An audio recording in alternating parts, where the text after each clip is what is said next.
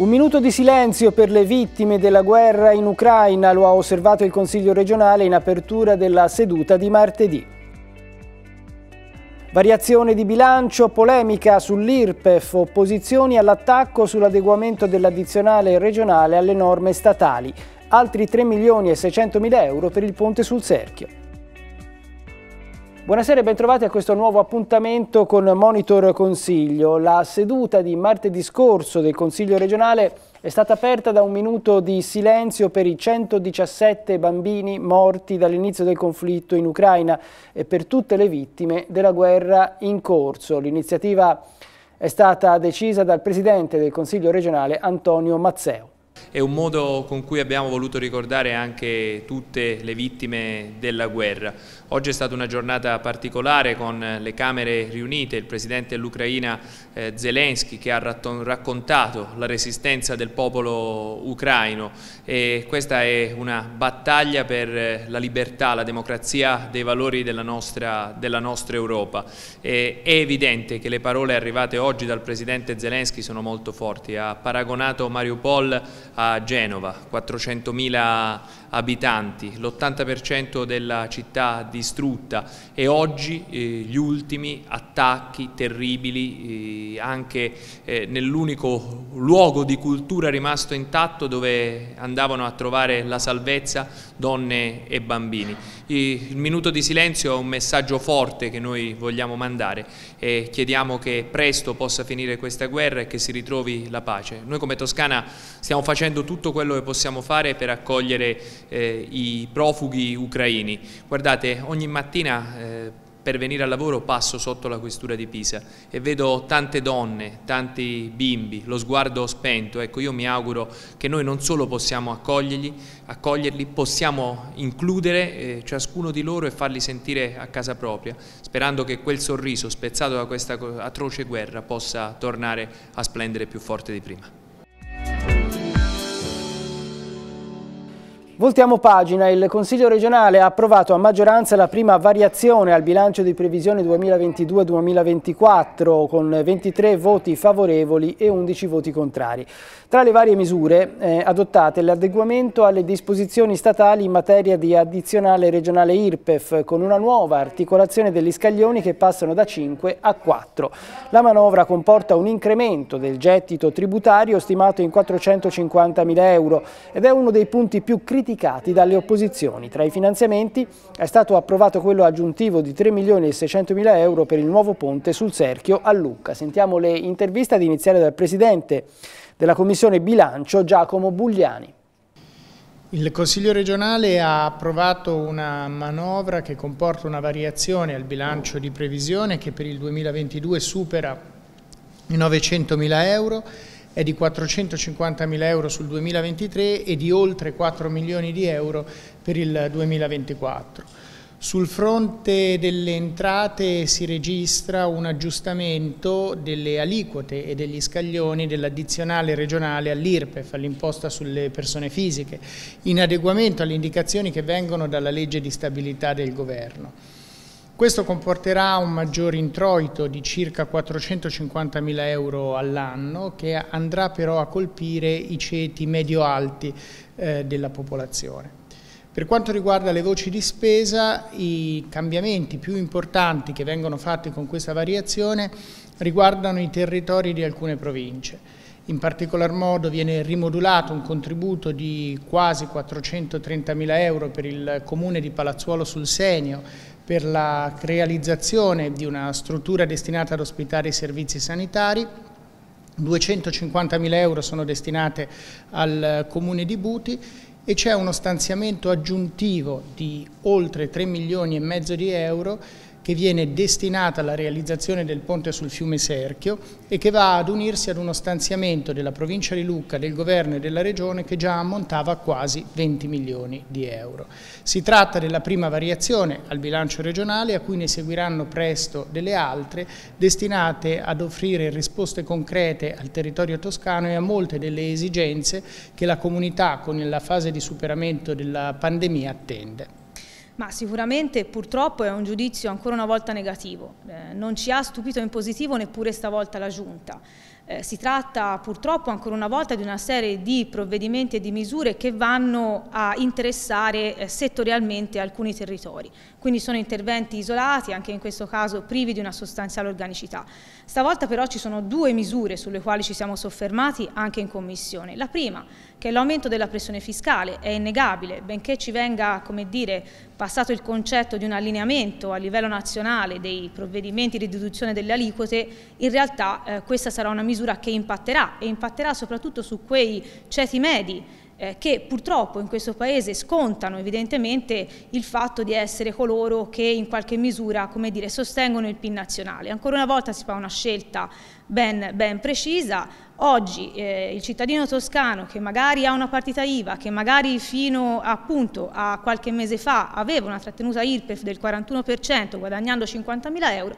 ad oggi non solo avrà ancora il carico fiscale appunto che magari è legato a una partita IVA, ma avrà una trattenuta del 43% e un'addizionale regionale più alta. Questo è il quadro su una eh, misura che comporterà per la Regione Toscana un aumento di circa 450 mila euro. Su questo avevamo cercato di neutralizzare, eh, proprio in virtù della contingenza economica che ci troviamo a vivere, l'impatto immediato sulle tasche dei cittadini di questo emendamento. Questo non è stato possibile paradossalmente perché avremmo intaccato un fondo che va a eh, preservare le perdite delle società partecipate. Tutto questo sarebbe quasi comico se eh, non avessimo oggi in bilancio un'altra misura, che è quella che sostanzialmente consente il compenso nelle società partecipate di eh, cumulare eh, le indennità di Presidente del Consiglio di amministrazione e amministratore delegato, laddove è previsto. Allora, capite bene che questo è quasi un paradosso, dall'altro non si come dire, non, non, si trova un muro contro muro quando si vuole evitare un aumento eh, della pressione fiscale dall'altro si va a premiare quelli che in qualche maniera come dire, sono protetti paradossalmente da quei fondi che coprono le perdite delle società società che ricordiamo eh, in grande eh, molto spesso sono anche state censurate proprio nella loro gestione da parte della Corte dei Conti attraverso dei rilievi puntuali. Quindi a noi francamente tutto questo, ripeto, pare quasi, quasi grottesco se non fossimo davanti al bilancio della Regione Toscana. Concludo dicendo, siamo ancora in attesa del piano regionale di sviluppo, in una situazione economica e sociale che rischia davvero di degenerare, oggi ancora non sappiamo la Regione quali interventi strutturali intende adottare. Al contrario ci vengono, come dire, propinate questo tipo di misure che eh, francamente ci lasciano quanto opposizione assolutamente basiti e fortemente contrari. A un voto positivo si conferma la volontà di Italia Viva di questo anno di non aumentare le tasse, una battaglia politica che abbiamo condotto e anche in questa prima variazione la riconferma praticamente anche dell'addizionale IRPEF, degli scaglioni, così come delle tariffe per noi è un elemento importante, non era il momento di aumentare le tasse, siamo stati in grado di adeguare le nostre previsioni fiscali alle previsioni di riduzione fiscale che sta avvenendo a livello nazionale, questo è positivo in delle settimane che sono molto dure per tutti i cittadini toscani come per tutta Italia dove il caro bollette diventa insostenibile, la riduzione fiscale che sta avvenendo a livello nazionale, l'assegno unico per la famiglia e la piccola forma di riduzione che proviamo a fare a livello regionale può cercare di alleviare quello che è un aggravio che altrimenti rischia di essere insostenibile per le famiglie toscane. Io vorrei intanto rincuorare tutti, per cui c'è un aumento del prelievo fiscale, perché abbiamo assistito e stiamo assistendo a un dibattito surreale, forse anche perché siamo al giorno successivo alla primavera, ma di fatto c'è un aumento della tassazione in questa regione, molto probabilmente non sarà che il primo. Eh, chiaramente si fa un dibattito sulla, eh, su chi si va a toccare, su quali redditi si vanno a toccare, si presuppone che i redditi sopra 50.000 euro eh, non siano gravati da altri eh, no, prelevi fiscali, ma in realtà eh, il, quello che si va a comporre con questa variazione di bilancio è tutta una serie di interventi che hanno una loro razio e che Fratelli d'Italia ha affrontato costruttivamente, in alcuni casi votando a favore, in alcuni casi astenendosi, in alcuni casi chiaramente dando nel complesso un voto contrario a quella che è una manovra che non ci convince per due ordini di motivi. La prima perché non va assolutamente a toccare tutto il malcontento che eh, viene vissuto dalla comunità toscana sia a livello imprenditoriale che delle famiglie e poi chiaramente perché nel suo complesso non fa che essere una variazione che non ha nessun tipo di strutturazione e organicità e ci fa credere che durante il corso dell'anno ricorreremo probabilmente ad altri prelievi eh, che ci aspettiamo di poter chiaramente poi controllare e dibattere in aula. Per quanto riguarda Lucca,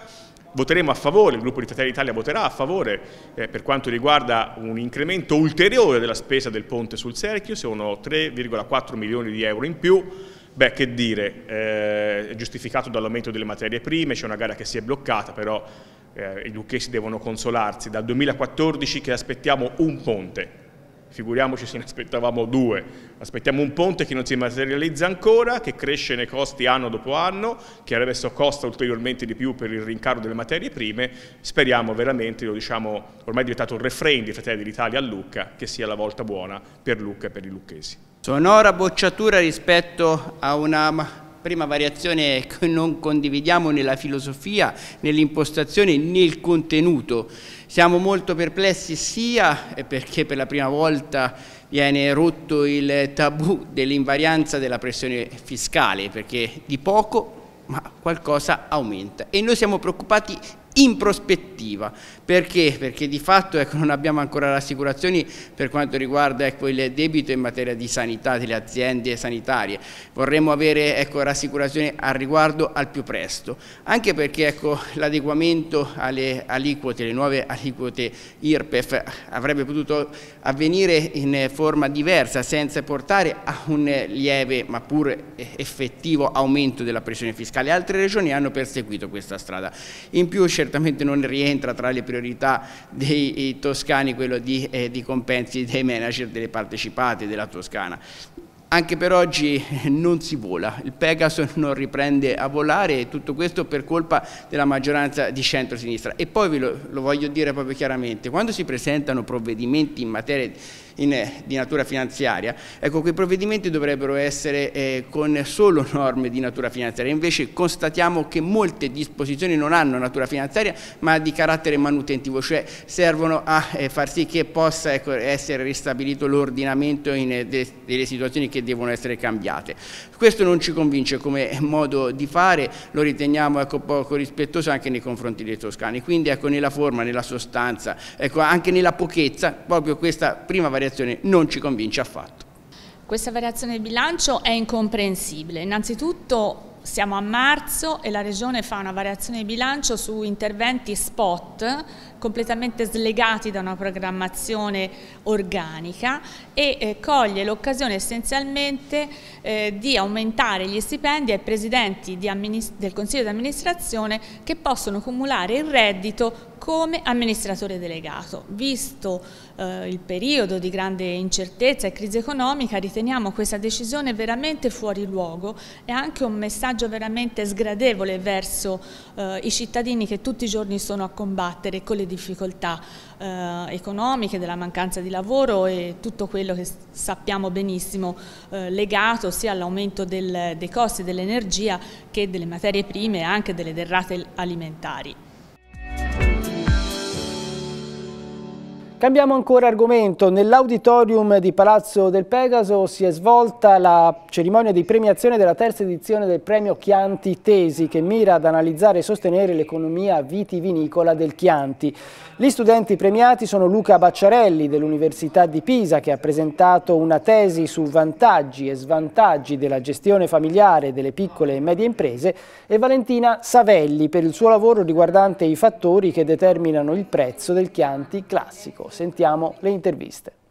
Tutti gli anni, da ormai tre anni, riceviamo dei eh, mo molte candidature da università in tutta Italia, studenti italiani con tesi in economia e management. Eh, Quest'anno abbiamo il piacere di eh, premiare due tesi eh, di eh, studenti toscani. Il primo è eh, Luca Bacciarelli dell'Università di Siena con una tesi su impresa familiare e leverage finanziario e la seconda è Valentina Savelli che ha, presentato,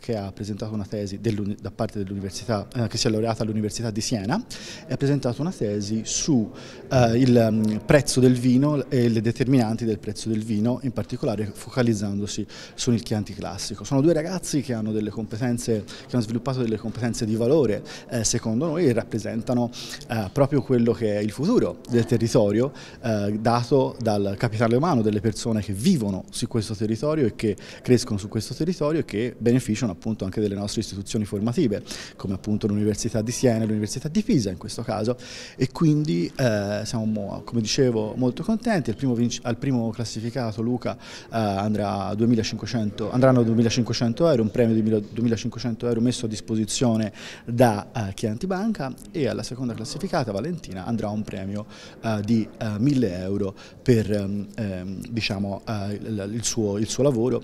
che è stato giudicato meritevole come quello di Luca da una commissione composta da sei docenti eh, universitari. Le tesi sono state premiate perché i ragazzi hanno fatto un ottimo lavoro che ha, avuto, che ha rispecchiato quelli che erano i temi proposti nel, nell'edizione del Chianti Economic Forum. Quindi onore al merito e la premiazione è uno stimolo per i giovani secondo quello che è l'obiettivo del, del concorso che, che, che, da anni ormai si ripete con uh, soddisfazione e partecipazione da parte dei giovani delle università del territorio. Eh, giornate come queste danno il senso di quello che facciamo sul territorio. Sono giovani studiosi che hanno costituito un'associazione eh, di rilievo per il nostro territorio, per il territorio del, del Chianti e attraverso questa associazione premiano e contribuiscono all'impegno e alla ricerca di altri giovani eh, studiose e studiosi. E questo è molto bello perché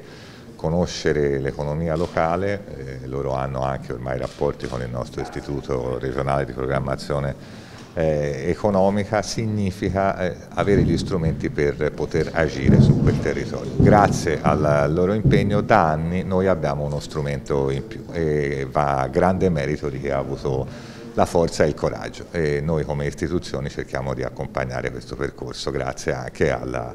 sensibilità e alla generosità di alcuni sponsor. Oggi si parla di futuro, si parla di futuro del nostro territorio, si parla di giovani che attraverso le loro idee, il loro lavoro di ricerca contribuiscono a costruire un territorio migliore. La sfida che noi abbiamo lanciato con Toscana 2050 è quella di provare a disegnare come cambia la nostra regione. Abbiamo bisogno delle migliori energie, abbiamo bisogno che questo diventi un percorso da condividere con quante più persone possibili, perché il disegno del domani del nostro territorio, della Toscana dei nostri figli, ha bisogno di tutte le energie e dello sforzo collettivo di tutti. È tutto per questo appuntamento con Monito il Consiglio, vi ringrazio per l'attenzione e vi auguro una buona serata.